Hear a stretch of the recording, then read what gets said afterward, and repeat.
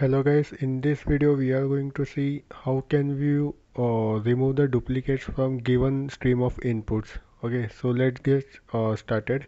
So this is our integer array and we have passed it at arrays.asList that array name which contains 1 2 3 4 5 5 okay so there are uh, two one duplicate that is 5 is appearing two times. So if you want to remove this from this uh, stream input so uh, as you know that a set doesn't allow duplicates right? So we will be using set in this uh, video.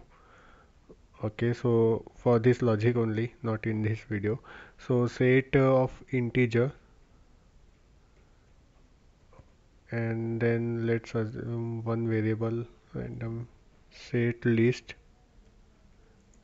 equal to uh, then we have to perform stream operation on this list okay as we have passed that array into that uh, list. So list dot stream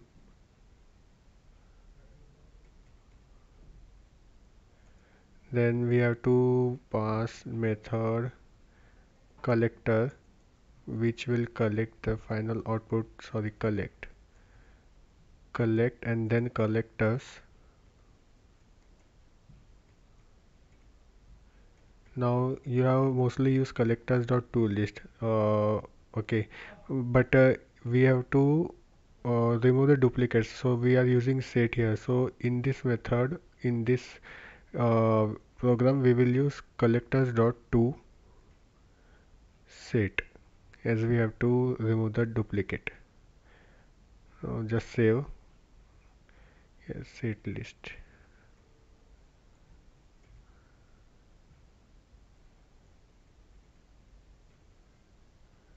so if you run this program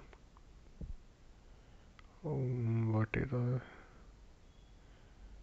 list dot collector dot show okay.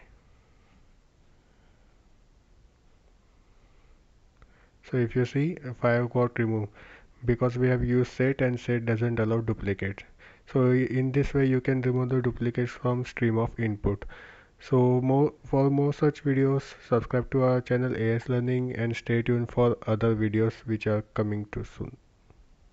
Thank you.